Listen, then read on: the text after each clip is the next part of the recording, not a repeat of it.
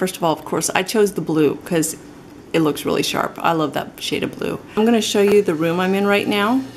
And I'm going to show you, this is the way it is right now. You see half of a jacket, nothing down here, and only pillows over there.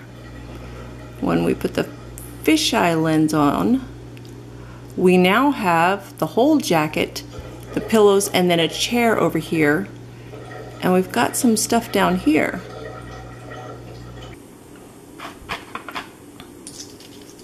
Hopefully my fingerprints aren't going to get on them and uh, distort anything.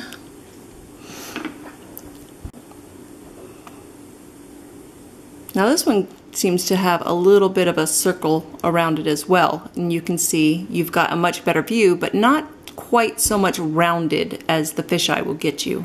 So you've got more of the jacket, but not as much as the fisheye. You don't have the chair, but you have space in between the pillows. And you can see the salt shaker here.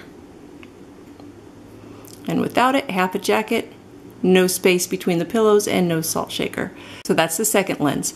To get to the third lens, my favorite, favorite lens, you simply take the second one off the base there.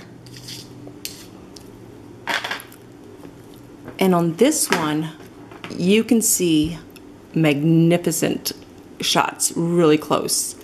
Um, and I'm going to show you, of course, obviously, because it is close up, it's like being uh, nearsighted. Anything far away is going to look blurry. But let me show you some of the photos that I have uh, taken with this.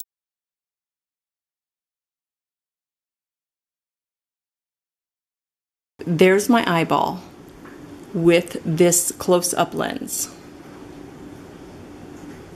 And there is my eyeball without the close-up lens. So you know, if you guys are science nerds in any way, this is your backup microscope.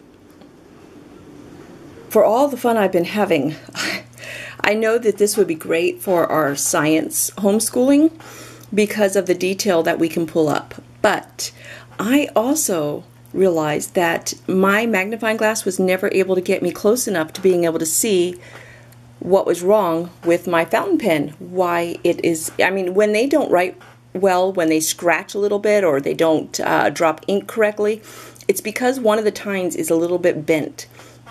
So you have to be able to see that and you have to be able to, you know, correct it. With this tool magnifying things, I'll be able to see where it's a little bit bent. I hope that helps you decide, well, if these are for you, I, I know they're definitely super cool. There you go. Have a nice night.